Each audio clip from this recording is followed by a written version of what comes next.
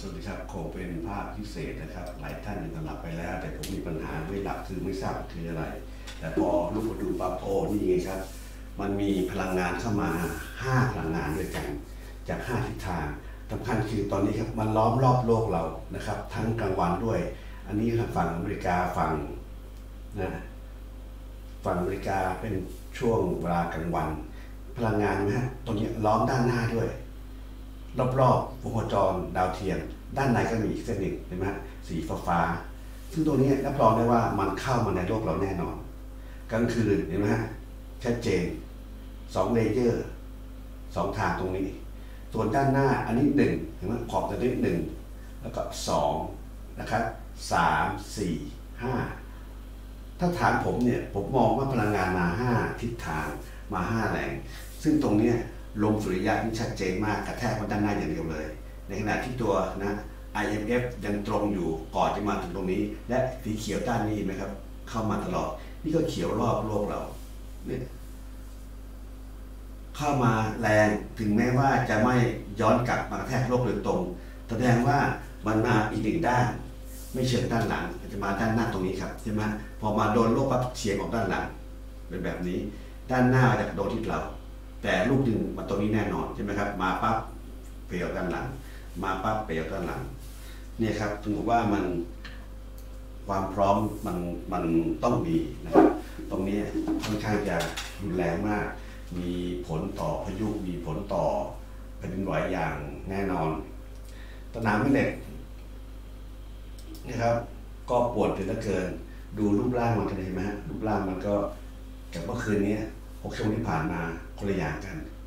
และบางช่วงก็หายไปด้วยเห็นไหมครับนี่คือที่คุโรบเหนือนี่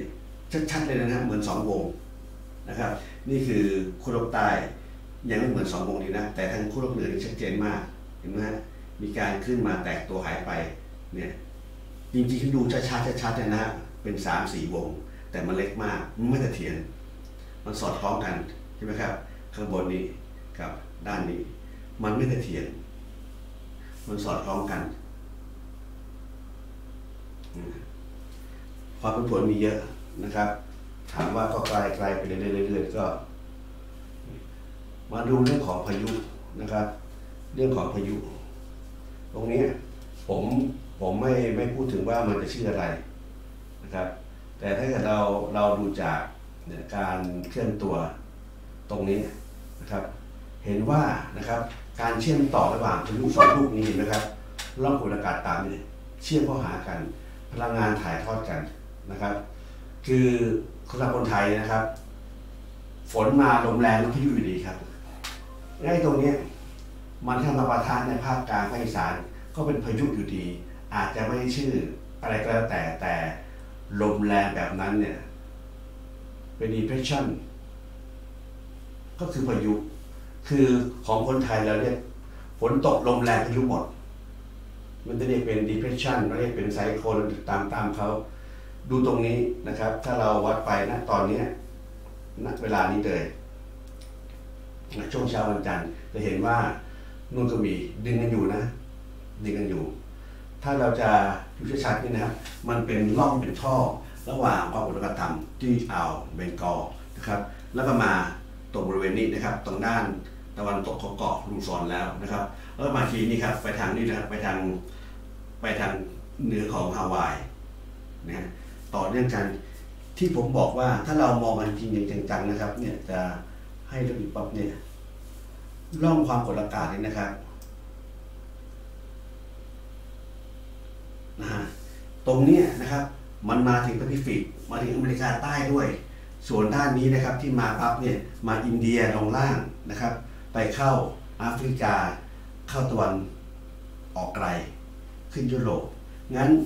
วงใหญ่เนี่ยเป็นวงใหญ่จริง ๆ ของความกดอากาศต่ำส่วนตัวเล็กก็มีการต่อเนื่องกัน ถ้าเราขยายขึ้นมานิดนึงอะมาดูกันตรงนี้นะครับ ที่อัฟกานิสถานปากีสถานมาที่อินเดียนะครับจากอินเดียปั๊บตรงนี้เองนะเป็นคอขวดเลยนะ แน่นอนเข้ามาที่เบงกอลแล้วก็มาเสิร์ฟที่อ่าวตังเกียนะครับ ก่อนถึงตรงกลางเนี่ยเอาวตังเกียแล้วมาตรงกลาง ส่วนตรงนี้ครับไกลๆก็ยังมีอยู่เหมือนกันด้านนี้ เรามาดูว่านะครับไอตัวพายุหรือลมนะครับ จากโมเดลเนี่ยมันเข้าไทยไหมเนี่ยก็มานะครับ วันที่ 26คือวันนี้นะฮะแม้ว่าตัวบนนะครับ จะขยายขึ้นแต่ ข้างล่างมันมีการก่อตัวแล้ว วงใหญ่ขึ้นนะครับจะเป็นจะขึ้นเวียดนามนะขึ้นที่เมืองเมืองเวและดานังและนะกระแทกเวียดนามมาแล้วนะครับเข้าหาประเทศลาว นี่เริ่มเข้าอีสานแล้วนะครับเนี่ยเข้าที่ศรีสะเกษนะครับเนี่ยถามว่าณตรงเนี้ยวันที่ 28นะครับอีสานเต็มๆนะครับอุบลราชธานีถ้าเราอยู่ตรงนี้ปั๊บอะณวันนี้นะครับวันที่ 29 นะครับ เราจะพบว่าร่องความกดอากาศต่ำนี่ ใหญ่มานี่ครอบมานี่นะครับ ใหญ่มากๆงั้นถ้าเกิดดูจากอวกาศมาเนี่ย อาจจะไม่หนานะ อาจจะมันแต่วงมันใหญ่ อาจจะไม่หนาแบบพายุซุปเปอร์ไต้ฝุ่นนะครับ แต่วงใหญ่ แล้วดูพื้นที่ตกกระทบนะครับ ก็มีของเวียดนามแล้วก็มาไทยนะครับอุบลราชธานีมุกดาหารนะครับยะโสธร เข้าถึงถึงสกลนครจะหนักครับไปทางถึงพิจิตรโลกนะครับ มาภาคกลางต้องดูต่ออีกทีนึงว่าจะไปไหนต่อ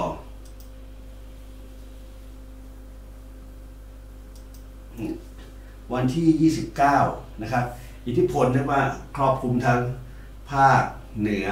ทั้งภาคตะวันออกนะครับ จริงๆแล้วนะครับ ถ้าดูตรงนี้นะครับ มันถึงประจวบคีรีขันธ์นะ นะครับ ถ้าเกิดเส้นใหญ่ถึงสุมาตรานะสุมาตราถึงเกาะชวาไปถึงบาหลีด้วยซ้ำไปงั้นตรงนี้มันก็ใหญ่ คือยังไงก็หลีกเลี่ยงไม่ได้นะครับประยุทธ์นี่หลีกเลี่ยงไม่ได้ คือไม่มีพลังฝืนธรรมชาติได้นะครับ วันนี้คือวันที่ 29นะ29 ดูต่อกันนะ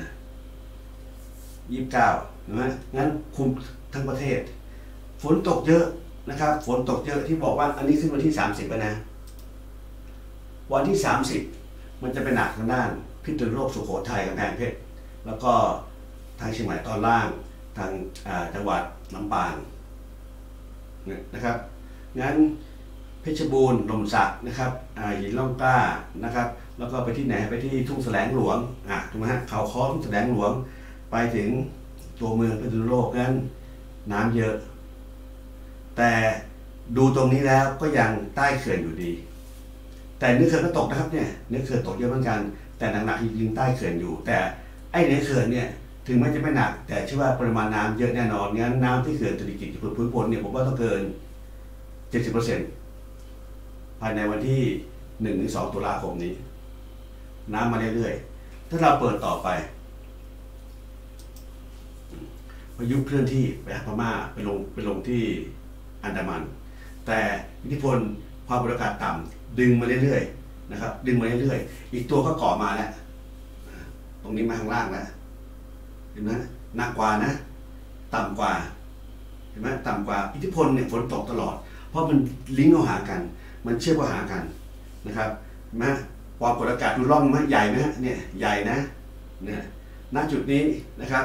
พอประกาศกลับไปกลับมา แต่ว่าใหญ่เล็กแต่ลมเข้ามาตลอดงั้นเราเห็นฝนตกจนถึงวันที่ หนึ่งตัวได้วันที่สามตุลาคมนะจะเบามาหน่อยหนึ่งแต่ตีกลับมาจากเบนกอนะเห็นไหมมันยื้อไปยื้อกันมา มันชักขยเยอะกัน เพราะอิทธิพลที่ธนาไม่ควรจะเคลื่อนที่มาแถวๆนี้ เหนือก็ลงมาตรงนี้ ข้างล่างขึ้นมาตรงนี้เหมือนกันนั่นตรงนี้ข้อมูลถึงวันที่ 5 ตุลาคมนะครับ งั้นวันที่ 5 ตุลาคมค่อนจะสงบ งั้นจาก วันจันทร์26เป็นต้นไป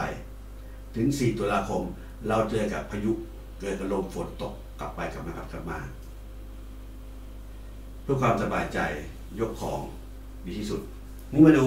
จำกัดพื้นที่นะครับ ที่เป็นห่วงมากๆคือเรื่องของเชียงใหม่เพราะว่าไม่เห็นมีการตื่นตัวเท่าที่ควร ผมจะมา set up ที่ตัวเมืองเชียงใหม่ก่อนนะครับ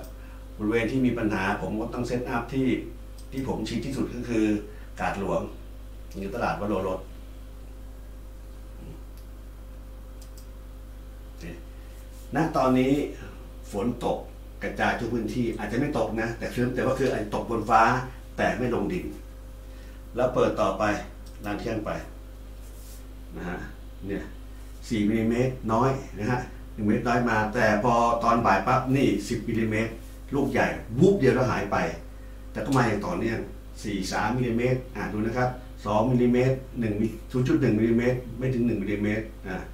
เข้าวันที่ยี่สิบเจ็ดนะครับ วันอังคาร ฝนเริ่มดูมากขึ้น มากหายมากหาย ดูต่อนะครับ แล้วพอมาวันที่ 28 28 ก็ยังดูไม่รุนแรงอยู่นะครับ แต่มีฝนตกเริ่มเรื่อยๆแล้วนะครับ พอมาเข้า 29 30 นี่ครับ อิทธิพลที่มาจากเวียดนามนะครับ ก็จะมาทางเหนือต่อทีหนึ่งยี่สิบเก้าเริ่มมาแล้วเห็นไหมครับมีฝนมีฟ้าขนองเป็นช่วงๆแล้วมาที่วันที่30อันนี้ขึ้น30ไปนะครับจากนี้เริ่มทยอยขึ้นมานะนะงั้นวันที่30นะฮะวันที่1 2 3ตรงนี้ครับเชียงใหม่เยอะงั้นตัวเป็นห่วงช่วงสิ้นเดือนนะครับ30 1 2 3เนี่ยนะครับ จะมีเชียงใหม่เยอะ น้ำจะขัง ถ้าไม่มีการพองน้ำที่แม่น้ำปิง ผมเน้นแม่น้ำปิงเป็นหลักเลยเพราะแม่กวงมันรักสบายมากรับอยู่เกิดอยู่คลองมาก็รับได้ แต่แม่ปิงน้ำตามทุ่งน้ำตามถนนต่างๆ ที่ตกตามหมู่บ้านต่างๆ ตามที่ต่างๆมาจากแม่ริมจากแม่แลนตกแม่สานะครับก็ลงมาน้ำปิงหมดเนี่ยงั้นช่วงนี้ยังมีต่อไปจนถึงวันที่หนึ่งอะดูนะครับวันที่หนึ่งต่อไปจะหยุดไปนะวันที่สองเห็นไหมหนึ่งสอง ลูกใหม่พวกนี้ใหม่นะนะที่ผลมันเห็นไหมสีฟ้าคุมตลอดสีฟ้าสีเขียวสีฟ้าสีเขียว เชื่อว่าปริมาณที่ตกจริงหนักกว่านั้น เพราะที่เราเราคาดการณ์ไกลๆนะครับ และคอสมิกเรย์คงต้องมา เพราะว่ายังไม่เห็นแนวโน้มจุดดับใน 10 วันที่จะมีการระเบิดขนาด M class X class มาได้ ถ้ามี M class X class มา มี CME มาเนี่ยผมว่ายังจะดีกว่านะครับ เพราะมันไม่มีปั๊บคอสมิกเรย์เข้าโลกได้นะ แวบไปแวบมาในแต่ละแวบนี่หนักน้ำฝนเยอะ น้ำฝนจะมาก ดูความน่าจะเป็นณตอนนี้ยังไม่เห็น ตรงนี้เพิ่มมาก็มีประโยชน์ เดี๋ยวไปแล้วนะครับ ก็ไม่ตรงโลกคงไม่ได้เปิดแรงแน่นอน มันอยู่ระหว่าง 25กับ24 ส่วน 24 ด้านล่างสุดสีมีก็ไม่ตรงโลก คือเฉียดเฉียดคือโดนบ้างบางส่วน ไม่ตรงทีเดียวนักนะครับ แต่ 3110นี่อาจจะระเบิดเยอะ แต่ 3107 นี่แน่นอนนะครับกับ 3105 พื้นที่ใหญ่รังสีโดนโลกแน่นอน แต่ตัวมวลพลาสมานี่เบาๆเฉียดๆแรงสวิงมันนะครับแรงสวิงมันแต่ก็ไม่โดนตรงๆยังไม่เห็นข้อมูลชัดๆ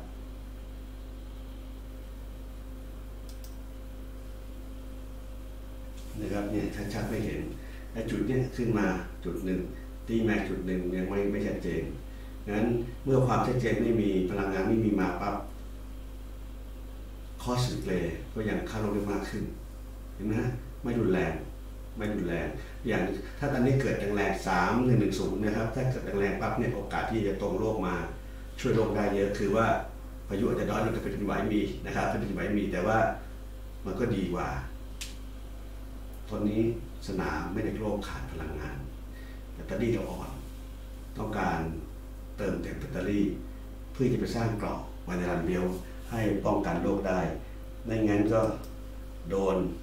ค่าเศรษฐกิจโจมทุกด้านเห็นไหมฮะงั้นถ้ากรอบมันอ่อนปั๊บผลตัวไข้มาแย่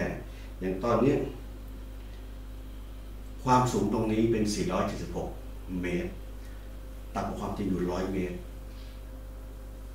มันบ่งบอกในเช่นวิทยากาศโลกมีปัญหา อากาศเบาบางลดต่ำกว่าความเป็นจริง ในขณะที่มาตรฐานเบลยังไม่ต่ำมาก แต่ว่าความกดอากาศมันเปลี่ยนผันผวนมากๆเลย ยิ่งตอนนี้มาพลังงานต้านทานด้วย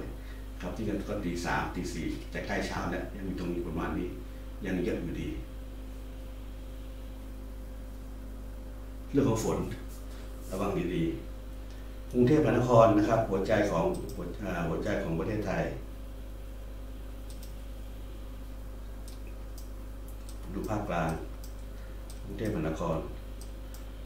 หัวใจของประเทศไทย ผมจะว่าตรงไหนดีเอาสนามหลวงนะครับ เป็นที่ตั้งจริงๆทางหลวงจะไม่ตกเยอะแน่นอน เพราะว่าตัวแปรเยอะ แต่เอาสนามหลวงดีกว่าแน่นอน เป็นที่ตั้ง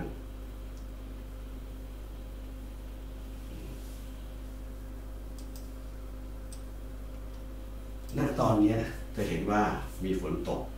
มีแถวแถวๆ ฉะเชิงเทราเข้ามาด้วยนะครับ ไปทางแม่น้ำท่าจีนก็มีเหมือนกันนะครับ มาลองรันโปรแกรมไปเรื่อยๆ เดี๋ยวตอน6โมงเช้ามีอะไรมั่งนะครับอตอนเช้าฝนซาแล้วแต่เห็นไหมมีฝนมาเรื่อยๆ เขียวไป เขียวไปฟ้ามาฟ้ามาเขียวไป มีฝนพรำๆก็ฟ้าครึ้มนะครับฝนนี่ยตกที่ข้างบนไม่ตกถึงพื้นดิน วันนี้ก็วันที่ 27แล้ว4.4 8.2 นะดูการเคลื่อนตัวของมันมันเป็นแบบนี้นะเราก็ต้องรู้ว่าเมื่อเป็นงนี้ปั๊บเราจะเตรียมความพร้อมอย่างไรเรื่องของน้ำท่วม น้ำท่วมขัง น้ำรอการระบาย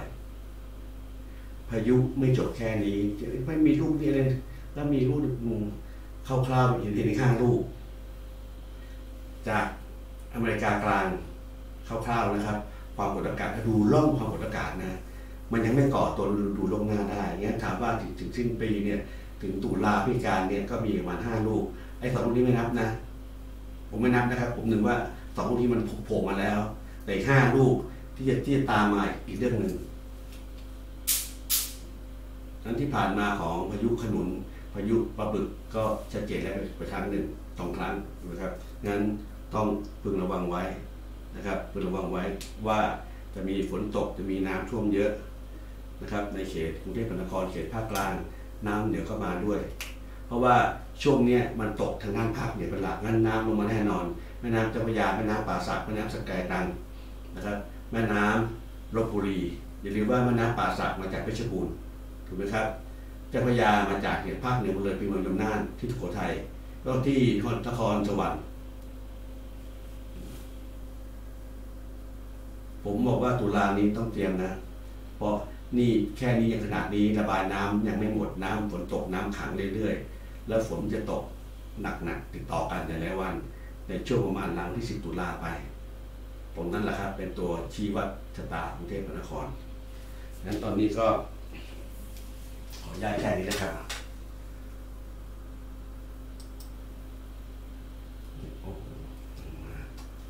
ก็หนักไม่หลับเลย ตาค้างอย่างเดียวเลย ที่ สำคัญคือตรงนี้ครับมันเห็นนะโดนรอบเป็นวงเป็นวงกลมเลยเนี่ยเนี่ยพลังงาน ล้อมรอบเป็นวงกลมอยู่แนว ทั้งแนวนอกแนวในทั้งตัวด้านนอกหรือหรือหรือไกลไปจากวงโคจรดาวเทียมวงโคจรด้านในด้วย ซึ่งตรงนี้สีเข้มมาก อยากจะบอกว่าน้ำเงินเข้มพวกนี้มันคือพลังงานเข้ามาโลกอย่างเต็มๆไฟฟ้าทั้งนั้นเลยระวังให้ดีครับเจ้าหน้าที่ไฟฟ้าสวัสดีครับ